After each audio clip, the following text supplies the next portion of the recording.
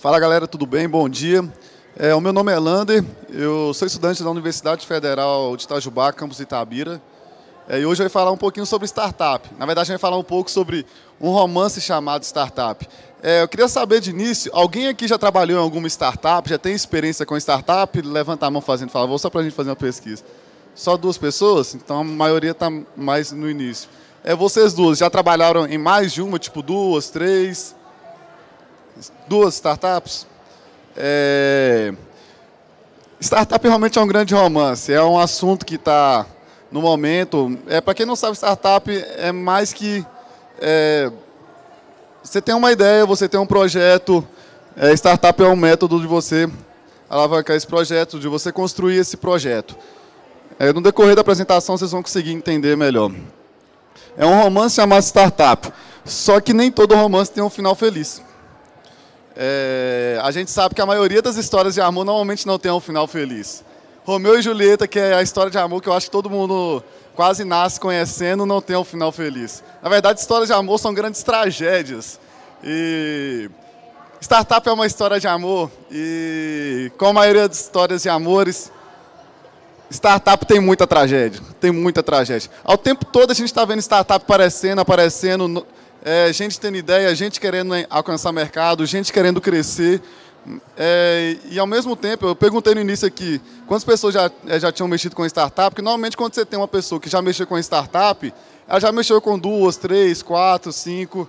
É, quem já teve oportunidade aqui, eu acho que não sei se, se alguns dois teve oportunidade de trabalhar em Cowork ou em alguma aceleradora. E você vê que é muito constante. É, num dia tem uma startup trabalhando na mesa do seu lado, no outro dia ela não está mais. E a rotatividade é muito grande, porque ideias aparecem a todo momento, ideias começam a crescer, ideias morrem a todo momento. É, hoje a gente vai fazer um ensaio sobre o fracasso, a gente vai falar um pouco sobre o fracasso. Eu podia estar aqui tá te dando métodos de como você alcançar sucesso, de como você ter uma startup de sucesso, mas infelizmente eu ainda não consegui esse método. Eu ainda não tenho uma empresa com milhares de clientes, eu ainda não tenho um produto que alcançou todo o mercado, eu não, não tenho milhares de funcionários, eu não tenho um CNPJ. O que eu tenho é uma lista imensa de startups que eu comecei e elas fracassaram. Então a gente, não vou te ensinar como você ter uma startup de sucesso, mas eu vou te ensinar aquilo que eu aprendi errando os erros que eu cometi e como eu fui me adaptando é, nesses erros. É, está, é, não significa que ela morreu que você não aprendeu nada. É, a startup, quando ela morre, não significa que é, foi em vão, foi o seu tempo gastado em vão. Você pode adquirir muita coisa que vai te ajudar na sua vida inteira, assim como tudo que você faz. Tudo te acrescenta de uma maneira ou de outra, te dá novas experiências, novas experiências te faz uma pessoa que conhece mais das coisas. É... Aí aqui, 75% não chegam ao quinto ano. É, eu coloquei ali a fonte, compilado de pesquisas, porque a gente até fala um pouco sobre isso depois, que é um, é um dos motivos de várias startups crescerem e morrerem. É, hoje, no mundo de startup, a gente tem muita fonte de informação, a gente tem muita gente produz, produzindo conteúdo. No empreendedorismo, em geral, a gente tem muita gente produzindo conteúdo. A gente tem muito é, conteúdo que não é muito confiável. É, esse dado é, é uma média de dados que eu tirei, na verdade, de várias revistas, de vários sites. É, e como a gente, eles não informam a metodologia que eles utilizaram para estar é, tá conseguindo pegar esses dados, então não sei qual é o mais correto. Então por isso que eu trabalhei com a média, porque eu acho que a gente consegue um valor talvez mais real. Mas eu acredito que o valor seja muito acima disso. Muito acima. Só eu acho que falei mais de cinco startups. Então, é, por que isso acontece? Por que, por que, que muita startup falha? Por que muita startup é, começa, cresce e morre? É, eu peguei três dos principais motivos que, que eu vivenciei é, trabalhando em Cowork. O primeiro é a desinformação. É, a gente vai explorar eles mais a fundo daqui a pouco. É, hoje em dia, como eu falei, a gente tem muita fonte de informação, a gente tem muita fonte de informação que não é confiável. a segunda, validação da ideia. É, às vezes a gente vai ali da ideia, a gente fala, ah, esse produto é legal, dá para fazer, tem mercado, é, mas às vezes a gente, não, a gente valida pensando, ah, esse produto já é certo, e a gente não presta atenção em pequenos detalhes que podem é, cometer erros ao nosso trabalho e que vai gerar mais uma startup falida. E modo de execução, é, que é como você administra a sua startup, como você administra os processos internos, o que acontece dentro. Então vamos começar a entrar um pouquinho mais detalhe nesses três tópicos. A desinformação primeiro. É... Eita. Ah, tá faltando um slide, mas vamos lá. É, desinformação. É, hoje, o tempo todo, a gente tem várias mídias e essas mídias têm muito, muito conteúdo. É, hoje, se você pegar seu Instagram é, e procurar um mentor ou alguém é, para te direcionar a fazer startup, você vai achar N perfis onde você vai lá, vai pagar um curso de 50 reais por mês, você vai poder entrar é, no Close Friends do cara e ele vai te mandar um monte de história é, com algumas dicas, alguns métodos e por aí vai. É, e muita gente se baseia nesses métodos. Em livros, muitas vezes a gente compra livro caro para estar tá estudando que é startup. Muitos livros bons, inclusive. Não estou falando que os livros são ruins, nem que esses mentores são ruins. É, Estou falando que muitas vezes a gente não sabe qual conteúdo é realmente conteúdo. Hoje a gente vive num mundo que todo mundo... É, a galera quer mídia, né? A galera quer muita mídia. Então a gente tem um monte de coach que não tem muita formação e acaba passando uma desinformação, né? Uma informação que ela não condiz com a realidade ou uma informação que é muito achismo do cara que está falando. É, então, o Sebrae, velho, se você quer ter uma startup, se você quer ter uma empresa, se você quer produzir, é, é, ter seu produto sendo viável, se você quer entender é como você entrar no mercado de trabalho, se você quer entender como que você vai desmistificar tudo que é isso, o que, que é eu abrir uma empresa, como que eu faço o meu CNPJ, eu preciso de um CNPJ, como que eu contrato funcionário, décimo terceiro, o que, que é, como que eu vou administrar minha empresa, o que é organização de empresa. É, em vez de você sair procurando informação picada, vai no Sebrae. O Sebrae tem um monte de informação. E o melhor, o Sebrae, as informações são gratuitas, interface é simples. Eu não tenho nada com o Sebrae, eu estou falando porque é porque eu uso e é o que e é o que eu vejo que tem informação de maior qualidade. E o melhor, a informação é confiável. É esse o grande ponto, é, tipo assim, do Sebrae. O Sebrae, a informação é confiável. A gente pode estar pagando 50 reais para assistir a história de um camarada, mas eu não sei, eu não tenho muita garantia. O que eu tenho de garantia é o que ele fala. E a garantia que eu acredito que ele está certo é o número de seguidores dele. E os outros seguidores é, dele têm garantia que ele está certo porque ele tem um grande número de seguidores. Então vira meio que uma manada, sabe? É, um cara tem vários seguidores porque ele fala bonito, porque muitas vezes esses caras eles têm uma boa aparência também, então acaba que eles já têm um número bom de seguidores e te conquista na palavra, então você acaba tá pagando, gastando dinheiro com algo que pode não te ajudar muito. Por isso o Sebrae. É, eu tirei uns prints do, do Sebrae é, que para ver como é que é simples. Tipo assim, se você entrar no seu celular, digitar é Sebrae, você vai entrar no site Sebrae, de cara você vai dar com, você vai descer um pouquinho, você vai dar de cara com essa tabelinha aqui, ó. Essa tabelinha, ela tá falando é, é, tipo para você entrar em alguns subtópicos. Isso aí são tópicos, você vai entrar em subtópicos. Então, tipo assim, só aí você já tem uma gama de informação muito grande que você pode estar acessando. É, se você por exemplo, a gente está falando de startup, empreendedorismo. Fui no empreendedorismo, isso aí é novo, eu, essa, essa imagem eu peguei de ontem, então isso aqui é, é tipo muito novo, provavelmente se você abrir agora, vai estar tá isso aqui. É, olha para você ver, o que, que a gente precisa para abrir uma empresa? Olha, olha, olha como é que está tudo na mão. No, nossa, nosso primeiro que a gente tem lá. Entenda a importância de formalizar e registrar o seu negócio. Hoje em dia, o que a gente tem de startup que não sabe é questão é, como criar um CNPJ, o que, que eu tenho que fazer para me registrar minha startup, o que a é, startup registra? Tipo assim, existe muita essa dúvida, muita gente tem essa dúvida. É, como que eu faço, sei lá, ah, minha startup não tem CNPJ, eu quero contratar funcionário, o que, que eu tenho que fazer? Então, aqui você consegue ter uma visão melhor sobre essa parte jurídica. Assustei. Sobre essa parte jurídica. Inclusive, eu estava olhando a, é, a programação, vai ter um cara, acho que não teve ainda, é, que vai estar tá falando sobre essa parte jurídica de startup. É, eu não sei quem é o cara, mas eu já recomendo porque é muito bom é saber dessas coisas, se você quer abrir um negócio. É, como abrir a empresa? É, dúvidas iniciais, tipo, a, a, parte inicial, tipo assim, ah, eu quero abrir uma empresa, eu tenho uma ideia, eu quero ter um projeto. Como abrir a empresa? Os passo a passo. E como construir um modelo de negócio para empresa? Ah, abrir minha empresa, não sei administrar minha empresa. É, com quem que eu vou trabalhar? Então o Sebrae acaba que ele te dá todas as ferramentas. É, esses tópicos aqui talvez parecem um pouco é, geral, mas se você for entrando, aprofundando, ele começa bem do superficial e ele chega bem no profundo. Ele chega informações bem detalhadas no decorrer com o tempo.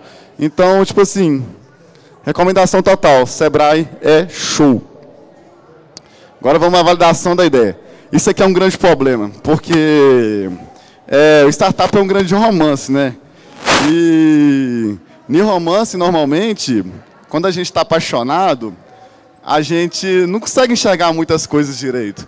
A gente não consegue ver os problemas direito, sabe? Às vezes a gente tá andando assim, vê um casal e para e pensa, mas o que, que essa menina viu naquele cara? É meio que isso. Às vezes a gente se apaixona tanto com o nosso projeto, com a nossa ideia, que fica nessa. Para a gente está perfeito, na nossa avaliação está tudo perfeito, mas será que está perfeito? Que método que a gente analisou para falar que nossa ideia está perfeita? O nosso achismo, tipo assim, ah, eu acho que vai ter mercado, eu acho que funciona, eu não encontrei nenhum erro, e é isso. A gente já faz a nossa validação da ideia, é, falando que ela já está validada, que ela é perfeita. A gente idealiza a nossa ideia e a gente coloca ela como algo intangível, algo perfeito. A gente não quer mudar, muitas vezes a gente não ouve é, pessoas com opinião externa, porque aquela é a minha ideia, aquele é o meu plano perfeito e aquele é o meu plano perfeito para o sucesso. Então, vamos entrar mais um pouquinho a fundo dessa parte de validação da ideia. Coloquei dois exemplos, não podia faltar um, case mod. É... Esses dois exemplos foram exemplos que eu vivenciei, não são exemplos que eu estava ativamente, eu estava como um terceiro, como um observador. Um deles é quando eu estava na Cowork, é, na minha cidade, a gente fazia parte do grupo da Aerovale. É, se alguém estava na CPMG, é, que foi junto com a Affinity, um dos palcos da, da Affinity era. Os palcos eram os nomes dos grupos startup e a Aerovale estava com um palco lá.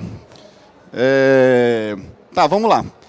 Aplicativo de loja açaí. Eu não coloquei nome, ninguém que vai conhecer, porque é muito interiorzão, mas eu não vou colocar nome para preservar.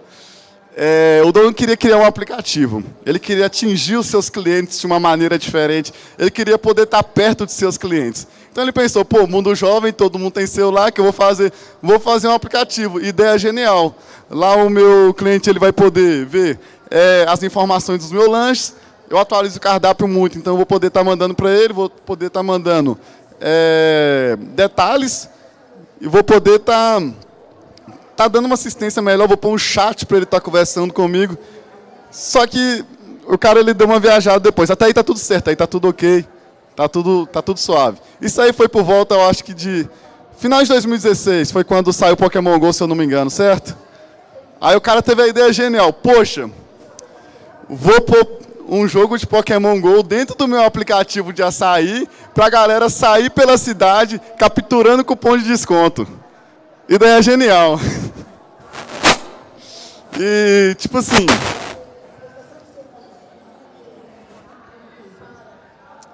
E, tipo assim, dá pra ver que é uma ideia totalmente absurda. Pra gente que tá vendo de fora, é uma ideia totalmente absurda. É algo que é muito mais do que ele precisa para vender açaí. Sabe?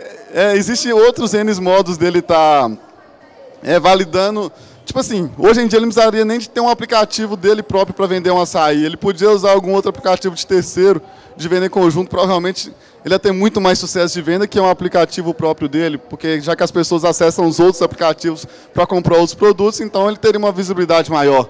E o outro é o da jardinagem. Esse caso eu gosto muito, porque era da Cowork que eu trabalhava. Eles trabalhavam na mesa do lado da minha. É... A ideia deles era muito boa, muito, muito boa. É, qual que era a ideia deles? Era ter um módulo. É, quem tem planta sabe que quando você viaja e quer cuidar da planta, é muito chato, porque vai morrer. Você sabe que só a orquídea vai morrer. E é muito triste, a orquídea é meio caro, né? O pessoal se apega à flor também. Antigamente a gente tinha mãe de pet, hoje a gente tem mãe de planta. Toda casa, no quartinho, você vê um cactus. É, a ideia deles era o quê? Vou criar um módulo que vai cuidar das plantas. É um módulo que ele via a, é, o pH da água, a umidade, e ele regulava a quantidade de água de acordo com a, com a planta, e você podia ter acompanhar, acompanhar essa planta à distância pelo aplicativo, é tipo mãe de pet mesmo. E, tipo assim, é muito da hora. E eu tava na... Não é na Finit, é numa... Uma feira de negócios que tem lá em Itabira. É, falando o nome da cidade, não ia falar. É, lá, lá em Itabira. E eles estavam lá do lado da, minha bancada lá também, e a gente estava trocando uma ideia. Aí eu perguntei para eles, não, mas eu gostei muito da ideia, velho. Tem espaço, tipo assim, muita gente está cuidando de planta, muita gente tem amor por planta, mas quanto que está custando isso? Quanto que está custando o seu produto? Aí o cara já me vira, 300. Assim, se é para me comprar um módulo que custa 300 reais para cuidar de um cacto, eu vou jogar o cacto fora, quando chegar de viagem eu compro outro eu não vou gastar 300 reais para cuidar de uma plantinha. Me desculpa. Assim, não vou. é, aí eu, aí eu, aí eu fiquei intrigado. Poxa, custa 300 reais. Deve ter um negócio muito mágico aí dentro. Deve ter um negócio muito mágico. O que, que rolou? É, eles não me falaram, mas falaram indiretamente. Pronto, o que, que vocês usaram? Eles falaram que usaram embarcado. Embarcado, quem mexe com um pouquinho de eletrônica, tem um Arduino Uno lá dentro do módulo deles. Certeza. Não cheguei a ver. Só, é, tem um Arduino lá. Certeza absoluta. Então o que que rola? É, me fala, que dia que você quer vender um produto? Que é. Você quer. Quando você quer fazer um produto, você tem que pensar em produção em larga escala, sabe? Então você vai ter que comprar um Arduino que vai custar 150 reais para fazer a mesma coisa que se você fizesse uma placa uma placa impressa ia fazer a mesma coisa. Você podia encomendar a placa, sei lá, encomenda da China, é baratinho. Você encomendar a placa para fazer o seu produto. E a ideia deles era realmente trabalhar com Arduino. E, tipo, você trabalhar com Arduino é confiável para protótipo, maravilhoso para protótipo. Mas, é, depois, ah, o meu cliente está com o módulo dele na casa dele há, sei lá, há quatro anos. Aí deixa cair a memória do Arduino apaga. E aí? Como é que fica o rolê? É complicado, porque o Arduino não é feito para isso. Assim, é legal fazer o robozinho para você brincar em casa e tal, mas para você fazer uma produção de larga escala, é muito complicado. É, é isso. Método de execução.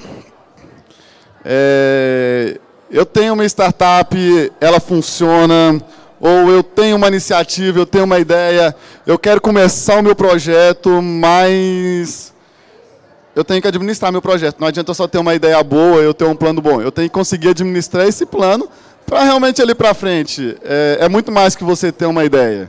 É, e esse tópico ele se separa em mais três. Análise de casos de sucesso. Esse é um ponto muito bom, porque quando você vai... É, qualquer lugar que você vai ouvir de empreendedorismo, que você vai ouvir de startup, é case mod, velho. Não tem como, é case mod. É estudo de caso, estudo de coisa que deu certo, estudo de coisa que deu errado. E o que que rola? A gente pega, tipo, a gente vê uma empresa que deu certo, a gente pega um caso que deu certo, a gente idealiza aquele caso que deu certo, e a gente, às vezes, coloca esse caso que deu certo como caso ideal, como caso perfeito. E a gente esquece de olhar outras coisas. A gente, a gente, às vezes, a gente molda o nosso projeto com o projeto do outro que deu certo, e esquece alguns detalhes muito importantes, tipo fatores externos é, a empresa que eu estou seguindo, ela tem a mesma quantidade de funcionário que eu, a empresa que eu estou seguindo, ela trabalha com o mesmo produto que eu, a empresa que eu estou seguindo, ela, é, ela já tem clientes, ela está no mesmo estado que eu, a economia que essa empresa cresceu é a mesma que a minha, e os fatores externos, ela tinha investimento, ela não tinha investimento, as coisas não vão acontecer como mágica, a real é essa. É, é, muito bom você pegar coisas que deram certo, você analisar o que deu certo, o que deu errado, mas não aplica na cegueira. Não fecha o olho e fala, vai, esse é o caminho. Não dá certo. É, não existem métodos específicos para ter uma empresa de sucesso. A real é essa. É, são tentativas e erros, tentativas e erros. É o que eu falei no início. Errei cinco vezes e agora estou mais uma empreitada. Espero não errar, espero que dê sucesso. Espero que eu volte aqui na Campus Party com o meu produto de sucesso. E... E é isso. Relação em comunidade. Isso é muito da hora, porque quando você fala startup, você pensa em cowork, você pensa em aceleradora, você pensa em grupos trabalhando junto para um ajudar o outro e crescer. Só que não acontece isso. A gente sabe. Quem trabalha em, quem já teve em cowork, quem já teve em comunidade de startups sabe que não vou falar 90% que é muito alto, mas uns 70% das vezes não acontece isso. A maioria das vezes é as empresas brigando entre si para ver quem que vai alcançar o mercado mais rápido, mesmo sendo nichos diferentes, sei lá, eu faço açúcar, o outro cara vende prato, sabe? Um quer acabar primeiro que o outro, um quer ter sucesso primeiro que o outro. É, muitas vezes elas não se confiam entre si em trocar informações, em trocar dados, é, analisar o que está acontecendo uma com a outra, realmente uma hackear a outra e ver o que pode ser mudado, o que pode ser melhorado. Acaba que mesmo estando em um grupo de comunidade onde todos devem se ajudar, a galera se coloca numa cúpula e fala: eu sou suficiente e eu consigo resolver os meus problemas. E é isso, pronto. É, você é meu concorrente, independente de qualquer coisa. E o meu negócio é o meu negócio, eu não quero que você dê pitaco no meu negócio, segue o teu negócio. É isso que acontece pelo menos é essas experiências que eu tive.